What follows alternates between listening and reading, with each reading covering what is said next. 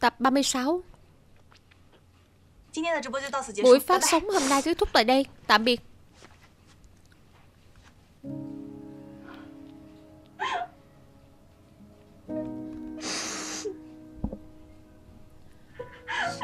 Tô Phi à Tô Phi Hôm nay em Đừng, đừng mà. Em Em chỉ coi như trút được gánh nặng thôi. Xin lỗi Lão Tiền Em chỉ muốn nói hết những gì mình muốn nói ra Em thực sự khó chịu Khi giữ ở trong lòng Ngô U Cậu cũng biết đấy Mình và Lão Tiền biết nhau đã lâu Và lúc mình xa suốt nhất Chìm trong đau khổ Lão Tiền đã ở bên mình Dẫn mình thoát ra từng bước vì nên lão tiền thực sự cảm ơn chị. Cũng nhờ chị. Em mới quen biết được Ngô U. Lúc ấy chị bảo với mình cậu thất tình rồi Nên mình có ấn tượng rất sâu sắc với lần đầu tiên gặp cậu. Chị bảo mình an ủi cậu. Trong lòng mình nghĩ mình thì biết cái gì chứ. Kinh nghiệm yêu đương này của mình thật là Hai chị em cùng gọi xe chạy đến chỗ cậu. Lúc ngồi trên xe mình mới bắt đầu tìm kiếm trên mạng. Làm thế nào để an ủi bản thân? Sau đó mình cũng không biết. Là do cậu trời sinh đã lạc quan Hay là bản thân mình thực sự có ích Mình thấy cậu dần dần tốt lên Mình rất vui Mình thực sự rất cần bạn bè。Vì lúc không có hai người ở bên cạnh Mỗi ngày mình cứ tự chơi, tự vui thôi Cho tới khi Dương Tử Hạo xuất hiện Mình thấy thật tốt quá。Giống như ông trời tặng thêm cho mình món quà vậy Vì mình cũng bây giờ đã trở nên ưu。tú hơn rồi Mình tiết kiệm được ít tiền bạc Con người cũng trưởng thành hơn Cuối cùng cũng có được chút thành công Để anh ấy phải thay đổi cách。nhìn Thực ra mình sai rồi Quá ra mình vốn chỉ là thích tìm kẹo Ăn trong lọ thủy tinh dở dụng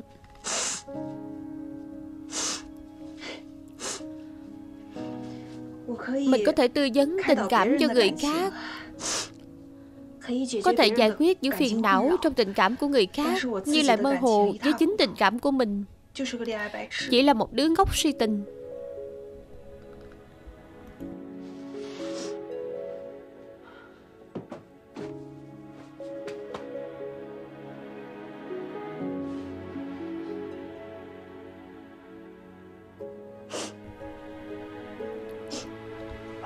Bảo bối. Đừng khóc nữa Cậu phải tin vào bản thân. Cậu là giỏi nhất. Thật đó. Khi ấy Mình bị tai nạn xe thảm biết bao mà. Không kết hôn được Người cũng chạy mất. Không có cậu, không có lão tiền Mình còn không biết phải sống tiếp như thế nào. May mà có cậu. Nhờ cậu cổ vũ Mình mới được như bây giờ. Vậy nên Cậu phải tin bản thân mình Được chứ. Cậu là tu hưng hưng giỏi nhất Cậu không lừa mình chứ. Tất nhiên rồi, mình lừa cậu làm gì? Đúng thật là Như tử hạo không xứng với cậu. Tên khốn đó Đúng vậy, tên khốn chết bầm. Được rồi Tô Phi, em biết không? Chị luôn nghĩ rằng em là người kiên cường nhất trong chúng ta. Đúng vậy, kiên cường nhất. Phải rồi, ôm em đi. Không sao đâu. Lại đây. Có gì đâu chứ. Bye bye thì bye bye thôi. Người tiếp theo sẽ tốt hơn. Cậu tốt như vậy sợ gì không kiếm được người khác. Dương Tử Hào là cái quái gì? Gọi cả Kim Thành Vũ đến luôn cho cậu. Được đấy, Em cũng muốn. Thời điểm giao mùa xuân hạ, thời tiết dần dần ấm lên, số lần tiết dầu cũng nhiều hơn. Vì thời tiết đẹp như hiện tại, mà rất nhiều người tiêu dùng không chú ý đến việc chống nắng. Hơn nữa hiện tại là mùa dễ bị dị ứng, mẫn cảm, vậy nên từ ngữ chủ chốt và mùa tiếp theo của chúng ta là chống nắng và phục hồi.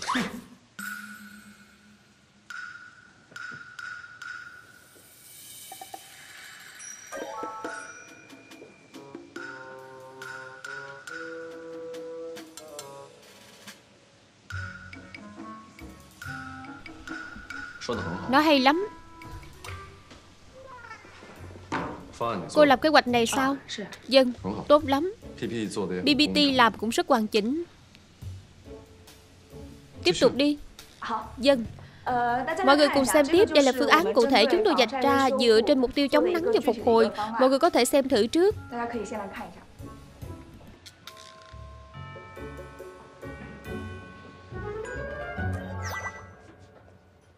Chị Ngô Ưu, chào buổi sáng.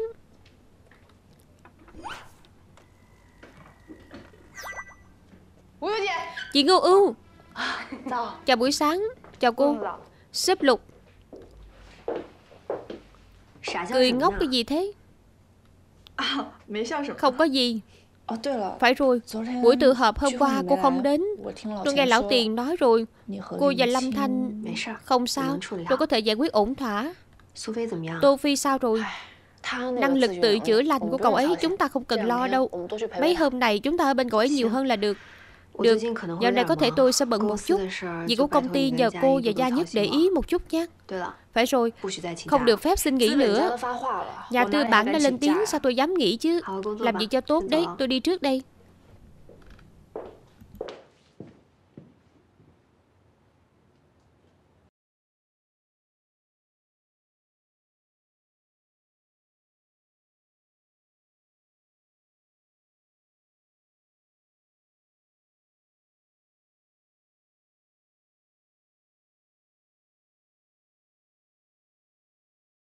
Nhà hàng này không có tín hiệu sao?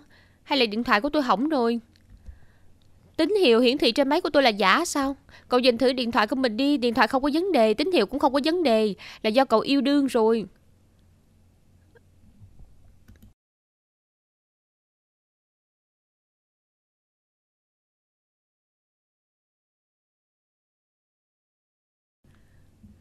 Rõ ràng lắm sao? Nhìn cái dáng vẻ qua si của cậu trong buổi họp đi. Gửi tin nhắn cho cô ưu chứ gì? Phải chúng tôi hẹn hò rồi. Được đó lão Hà. Lù đù dắt cái lu mà chạy nhỉ? Nói tôi nghe cụ thể thế nào Cậu tán đổ thế nào? Việc này từ khi nào đã phát triển tới mức độ nào rồi? Cậu rảnh rỗi quá. Tối nay chúng ta tăng ca nhé. Cái này Tăng ca thì thôi đi Mấy ngày rồi không thấy Lâm Thanh gọi điện cũng không nghe Giống như bốc hơi vậy. Hay chúng ta đến nhà cậu ta xem thử. Có đi không?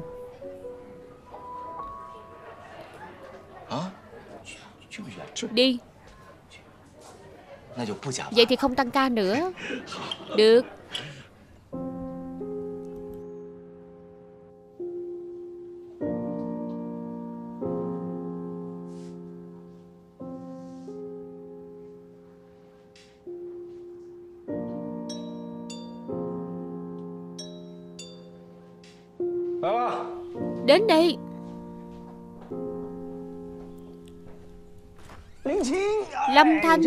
Mấy hôm nay cậu đi đâu vậy?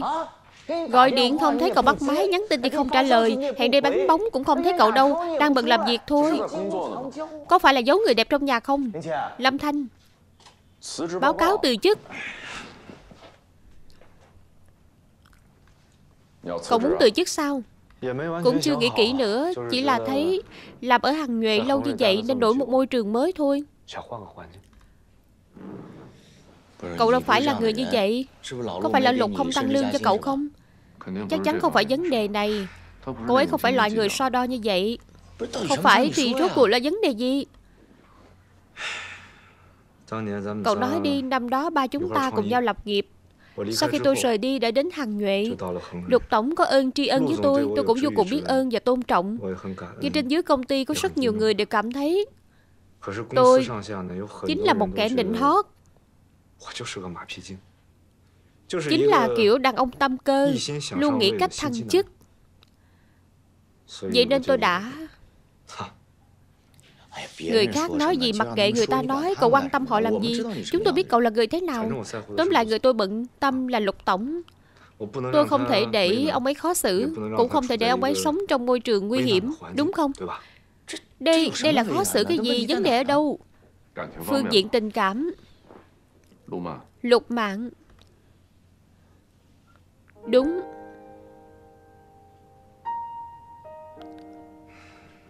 Đúng là Tôi đã yêu cô ấy. Nhưng tôi càng yêu cô ấy Lại càng thấy tôi không xứng với cô ấy. Có thể tôi chính là người như vậy đấy. Không có tự tin Đắn đo quá nhiều Nhớ năm ấy tôi cũng như vậy Ba chúng ta hẹn nhau cùng nhau lập nghiệp. Nhưng tôi lại không từ mà biệt. Vì tôi cảm thấy bản thân mình không có IQ như Lão Hà Cũng không có EQ như cậu. Tôi không thua nổi. Vậy nên mới lựa chọn trốn tránh. Lâm Thanh cậu mà không nói việc này Tôi cũng định chôn vùi nó mãi mãi. Nhưng bây giờ cậu lại nhắc đến Tôi thực sự phải mắng cậu vài câu. Thế nào là cậu không thua nổi? Tôi và cậu ấy thua nổi sao Cậu có biết nếu chúng tôi thua thì không có cả cơ hội trở mình. Việc này tôi đứng về phía lão Hà đấy. Anh em với nhau có gì mà không thể nói ra? Năm ấy cậu nhẫn tâm bỏ mặt chúng tôi? Sao giờ lại đến lượt lục mạng rồi Đúng không? Cậu không cần nói với cậu ấy như vậy. Cậu ta tự đi suy ngẫm đi. Đường là phải tự mình đi. Bản thân mình phải tự giải quyết hành vi của mình. Muốn tự chức thật sao? Được. Vậy nhã mạng chào đón cậu. Ý gì vậy lão Hà Cậu có đến không Không phải chứ lão Hà Cậu muốn tái hợp tam kiếm khách sao?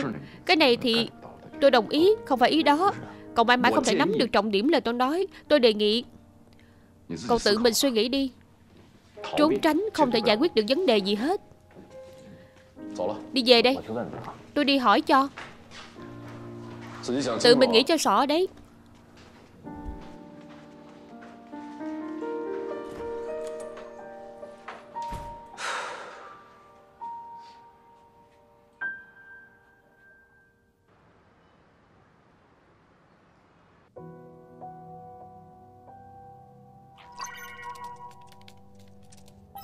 Cuộc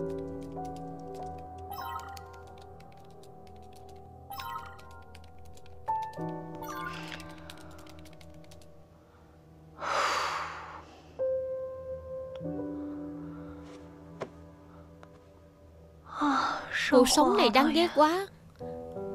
May mà mình đáng yêu.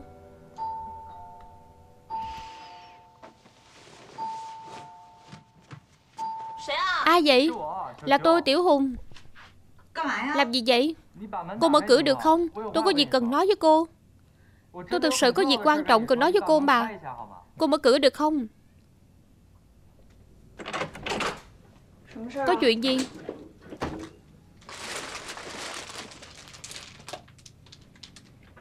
Tô Phi.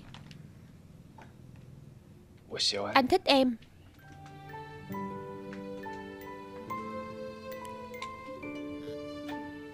Không, không cần thiết. Không cần gì muốn an ủi tôi mà làm việc này. Anh không có ý an ủi Anh thực sự thích em mà. Anh biết. Mấy ngày nay em luôn trốn anh. Em thấy mình đã mất mặt trước mặt anh rồi. Nhưng đó mới là em chân thật nhất. Anh thích nhìn em cười Cũng thích nhìn em khóc Thích nhìn em làm nũng Điểm xấu hay điểm tốt của em. Anh đều thích hết Chỉ cần là em anh đều thích Đừng có đùa nữa. Anh không có đùa Thực sự anh vô cùng thích em Anh thề Anh thực sự không hề đùa. Lần đầu anh được gặp em Lần đầu anh được thấy em khóc Anh đã quyết định rồi. Em chính là người anh muốn bảo vệ cả đời này. Chính là em.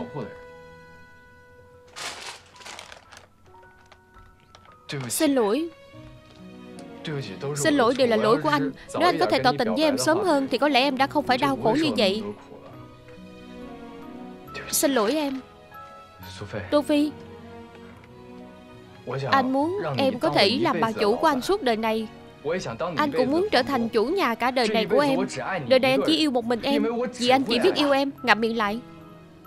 Tôi là dì hai của cậu. Cậu là cháu ngoại của tôi. Quan hệ của chúng ta là bạn thân không phải em đừng có lừa bản thân mình Rõ ràng. em rất quan tâm anh Quan tâm cảm nhận của anh Quan tâm từng hành động của anh. Em còn ghen gì anh? Tại sao em không dám thừa nhận là em thích anh? Tôi không có. Em có. Không có. Em có. Không có. Em có. Tôi không có.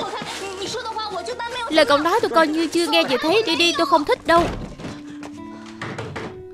Em có mà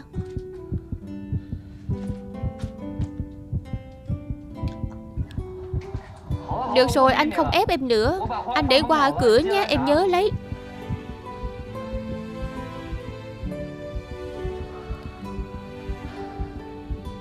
Tim mình đang đập thình thịch sao?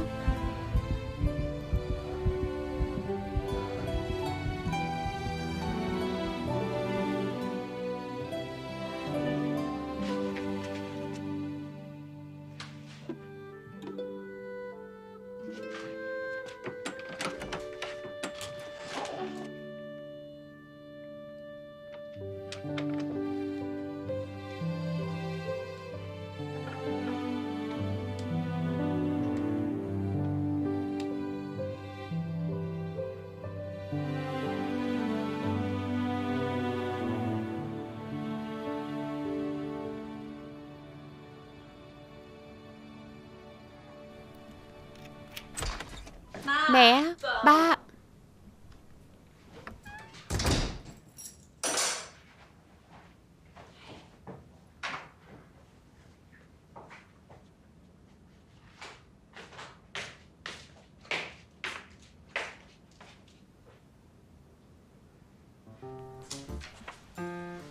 Con gái à Dì Tam Đường đang ở Hàng Châu của con đã sinh con rồi. Ba và mẹ đến đó giúp đỡ. Tối nay ba mẹ không về nhé Ba mẹ không ở nhà. Con phải nhớ đóng kỹ cửa nẻo ngủ sớm nhé. Không có việc gì thì đừng có lượn lờ ra ngoài chơi. Hiểu ý của ba chứ? Ba Ba nghĩ nhiều quá rồi.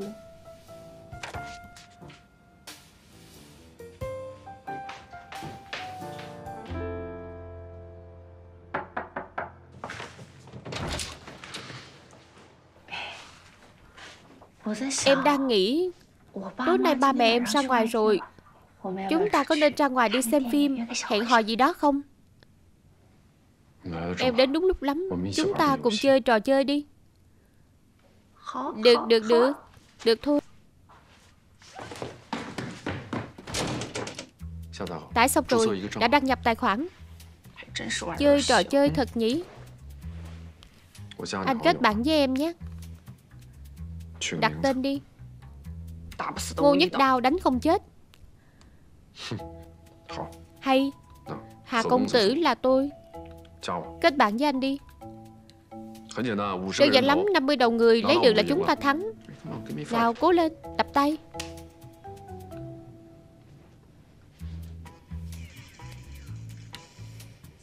Đi theo anh. Bên trái bên trái Em đang dùng súng gì vậy? AK Vậy em có thể ném bom mà không vấn đề Em được xông lên bên trái. Em nhìn thấy người chưa?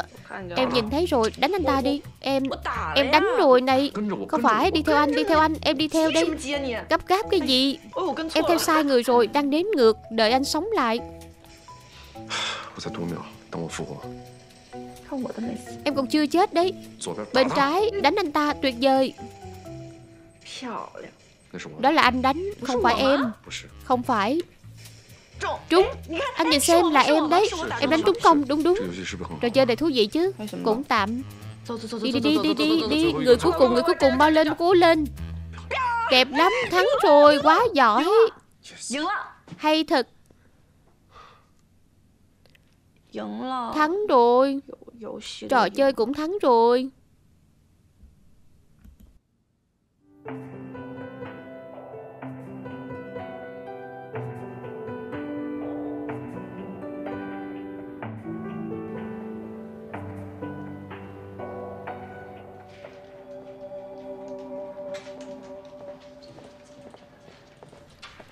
Chào buổi sáng Hà Tổng. Chào cô.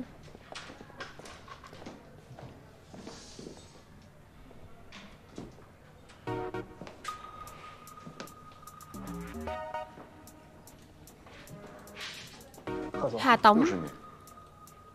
Lại là cậu. Tôi sai rồi Tôi không nên hút thuốc. Nếu cậu không thể nhìn được muốn hút thuốc Thì mua thêm vài lọ nước hoa bày trên bàn đi nhưng tôi vẫn phải nói cậu biết hút thuốc có hại cho sức khỏe Tốt nhất cai đi. Đây là Hà Tổng sao?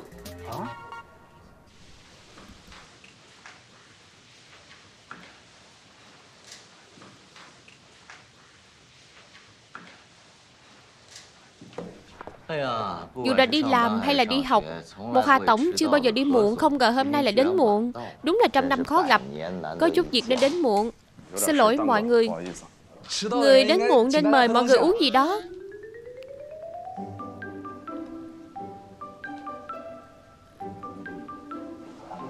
Nhân viên mới sao? Trợ lý đặc biệt mới đến của Lương Tổng à. Không phải Hiểu hiểu nhầm rồi. Không hiểu quy tắc thôi.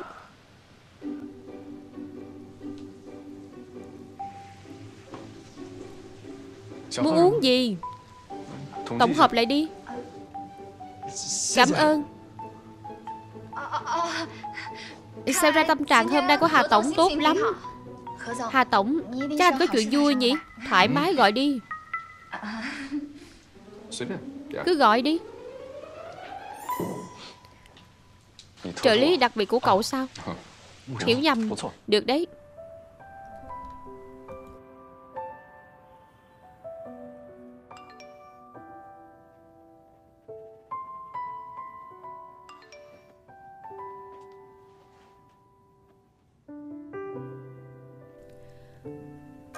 Thời gian vẫn luôn ở trong nhóm fan của em. Mấy hôm nay em đều không phát sóng trực tiếp Họ có vài lời muốn nói với em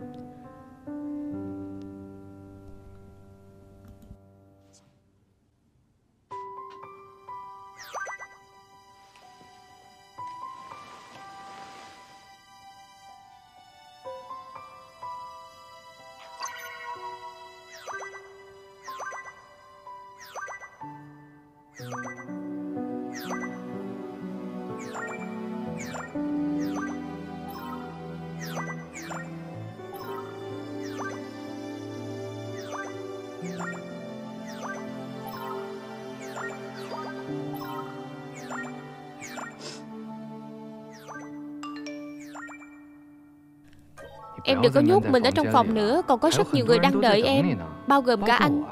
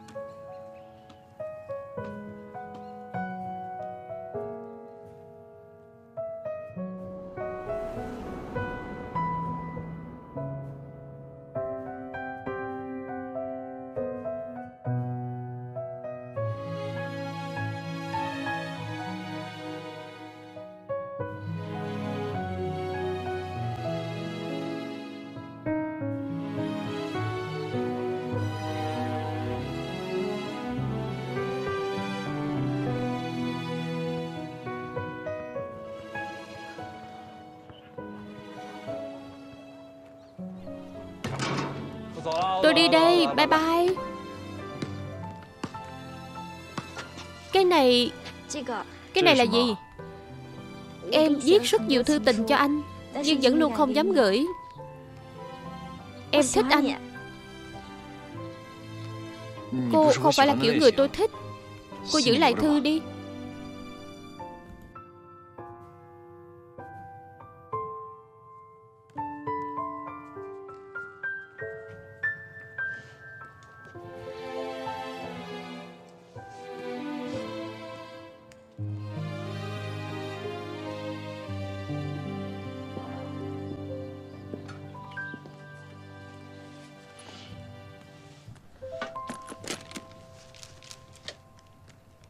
Thì khóc đi. Cho bản thân mình một ngày để bộc phát tất cả. Không sao đâu.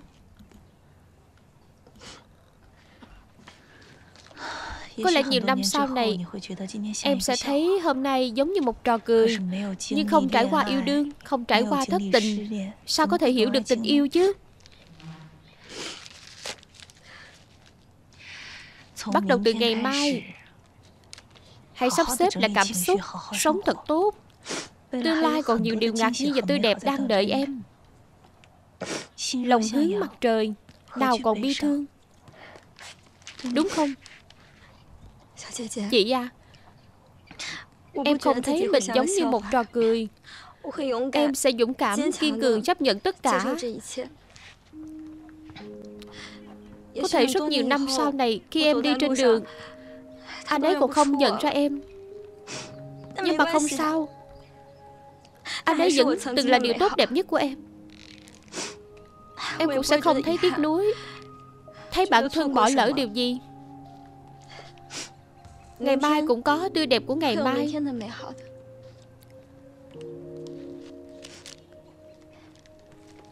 Cảm ơn chị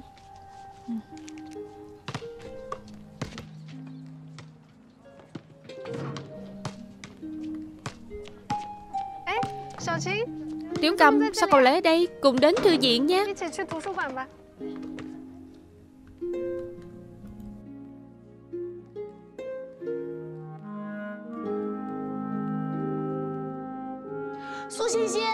Tô Hân Hân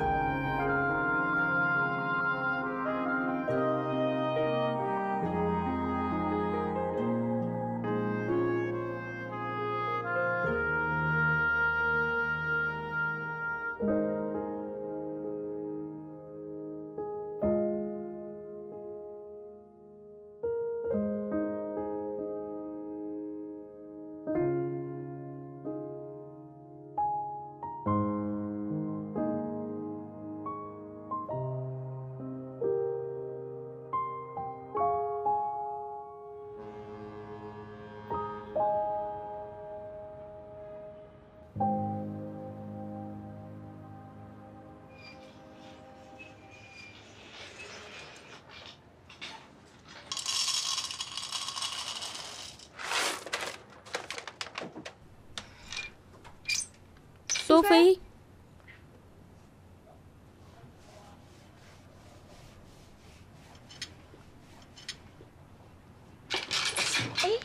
Không đúng nhá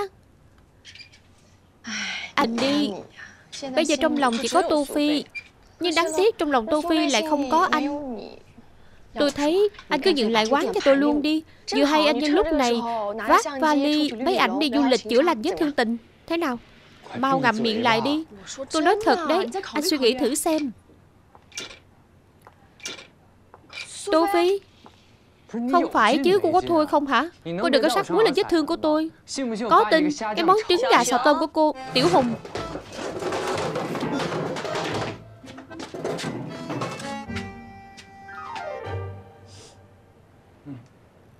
Chúng ta nói chuyện đi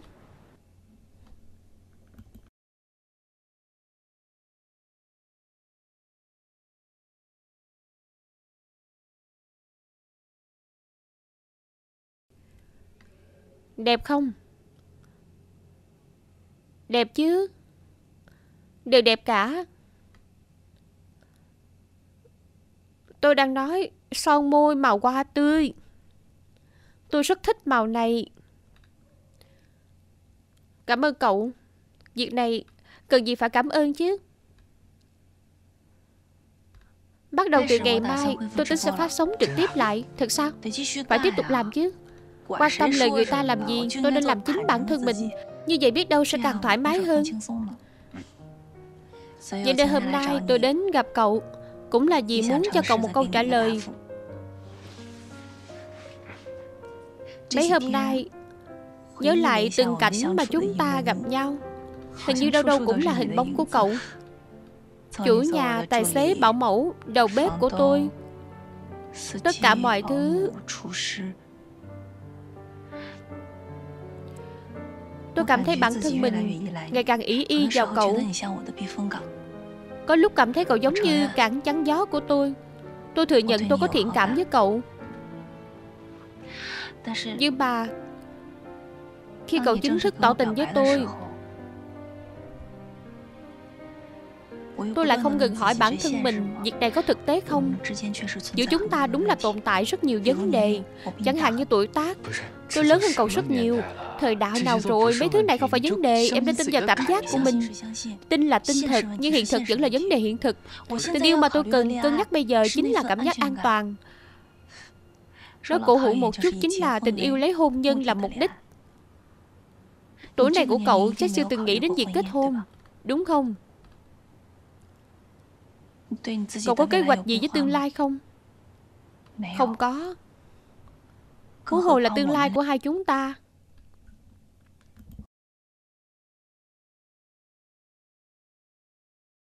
Hôm nay tôi đến gặp cậu. Là vì tôi rất trân trọng tình bạn của chúng ta.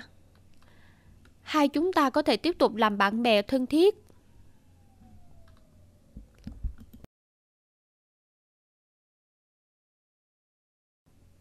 Không sao đâu, chúng ta cùng nhau cố gắng. Cậu nghĩ kỹ đi nhé. Tôi đi trước đây.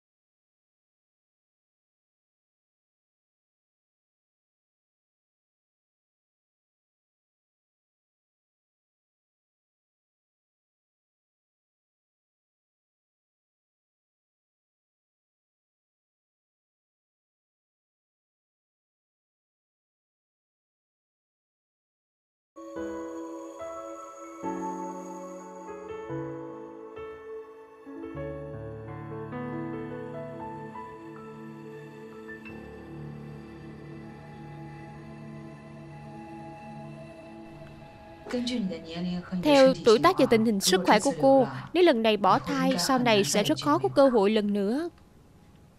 Tôi đã quyết định rồi. Tôi sẽ chịu trách nhiệm với lựa chọn của mình. Được. Vậy thì siêu âm trước đi.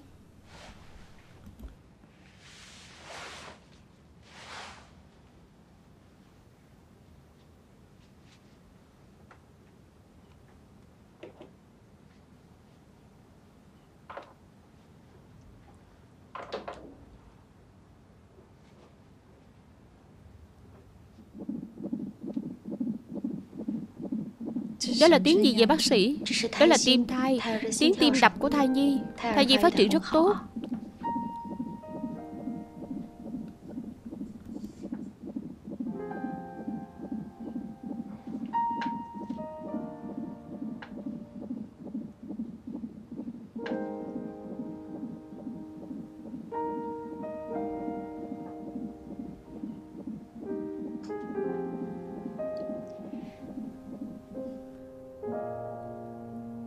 Đi làm cả ngày có mệt không? Lát nữa qua nhà anh Anh nấu gì cho em ăn nhé. Hà Tây Á Tay nghề của anh có được không? Anh không biết thì có thể học mà. Hơn nữa sau này việc nấu cơm cũng không thể giao cho mình. em được. Còn nữa sau này em đừng có tùy tiện gọi anh là Hà Tây Á Đổi xưng hô đi. Vậy anh muốn em gọi là gì? Đổi tên thân mật hơn đi. Chẳng hạn. Anh trai Anh trai. Sến quá. Sến sao? Ợp ba. Ợp ba. Thì sao hả? Ba. Ba. Ơ chú. Ba về rồi sao? Chị Tâm Đường khỏe không? Khỏe lắm. Vui vẻ lắm. Về đi Ba nói con nghe Chị Tam Đường sinh một đứa nhóc mập mạp lắm.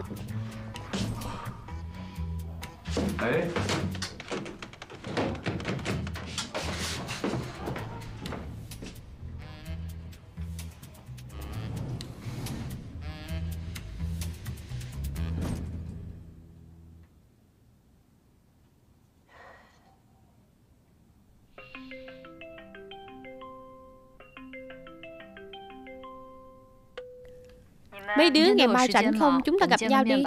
Chị có việc cần tuyên bố. Được thôi được thôi Em cũng có việc cần nói. Được đó Vậy chúng ta gặp ở chỗ cũ Gặp ở quán cà phê 21 gram. Đừng đừng đừng Gặp nhau ở nhà Ngô U đi. Lâu lắm rồi không đến nhà Ngô U. Không sao đâu. Cứ đến thôi. Vậy được rồi. Mai gặp nhé. Được được. Mai gặp. Mai gặp nhé. Được rồi mai gặp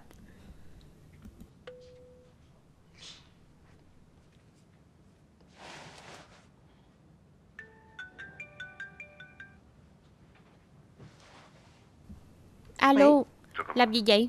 Tóm là không phải nhớ anh. Ngày mai cuối tuần. Có muốn đi đâu không?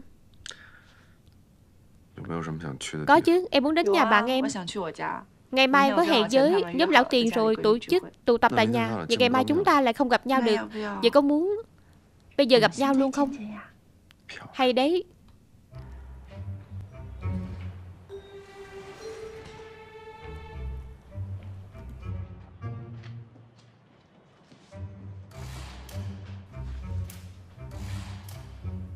Chú với gì ngủ chưa? Ngủ rồi. Được. Vậy bây giờ anh qua nhé. Anh làm gì vậy? Anh mà ngã xuống thì làm sao? Nguy hiểm lắm. Mau xuống đi. Ngày trước lúc anh trèo, Em đã lo lắng bao giờ đâu. Ngày trước và bây giờ giống nhau sao? Bây giờ anh là người của em rồi, Phải chú ý an toàn. Em nói cái gì? Không nghe rõ. Em Không nghe thấy thì thôi. Nói thêm lần nữa đi. Không nói. Nói thêm lần nữa đi. Không nói. Nói lại đi. Anh nghe không rõ. Tại sao phải nói? Em dịu dàng một chút được không? Không thể Có thôi đi không? Nửa đêm rồi Có cho người ta ngủ không?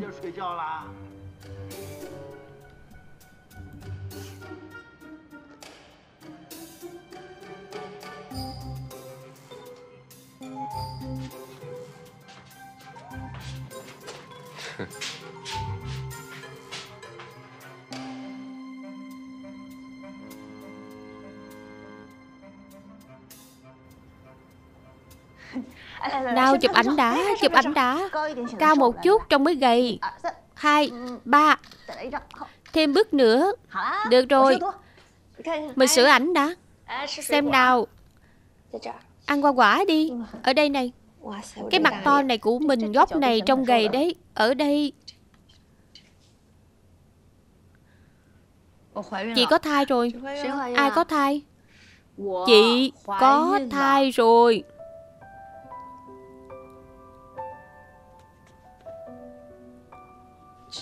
Việc này Đúng là quá đột ngột đi. Có với ai Tai tôi không nghe nhầm chứ. Tai cô không có vấn đề. Đứa bé là của Lâm Duyệt Đạt. Đã được hơn 2 tháng rồi. Hơn nữa chị quyết định sinh đứa bé ra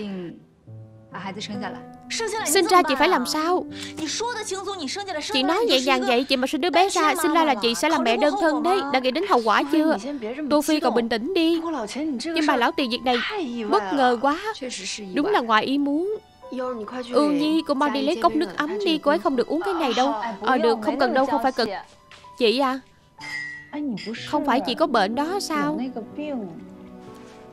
Đúng vậy, chị đã hỏi bác sĩ rồi. Bác sĩ bảo bệnh đó cũng không hẳn là tuyệt đối. Chị may mắn là đã có thai. Tốt quá rồi. Mà không đúng. Ý em là chị không có bệnh là tốt quá rồi. Nhưng còn về việc đứa bé Chị bắt buộc phải cân nhắc kỹ đấy. Nếu vào lúc này chị sinh đứa bé ra Thì chị sẽ trở thành người mẹ đơn thân. Những khó khăn chị phải đối mặt quá nhiều. Tất nhiên em biết. Chị sẽ nói với em là không sao đâu. Chị có thể làm được. Chị có thể nuôi con khôn lớn Chăm sóc con Chị có thể gánh được Không dễ dàng như vậy Chỉ dựa vào nền móng vật chất Chị nuôi lớn đứa bé có tác dụng gì? Chị dựa vào nền móng vật chất là chị trở thành một người mẹ đủ tư cách sao? Quá khó rồi Em nói đúng lắm Không không, em có quan điểm khác Tất nhiên cậu cũng có đạo lý của mình Nhưng bây giờ đã là thời đại nào Có rất nhiều gia đình đơn thân Cũng có thể nuôi dưỡng được một đứa bé khỏe mạnh Có biết bao người chỉ gắn gượng sống qua ngày vì đứa bé mà không ly hôn Vì đứa bé lại phục hôn Nhưng gia đình như vậy đã mất đi tình yêu từ lâu Đến cuối cùng cũng bị tổn thương là đứa bé Thì sao đảo tiền Nếu chị có thể mang đến một nền giáo dục thật tốt cho đứa bé Thì cũng là một lựa chọn rất tốt Em ủng hộ chị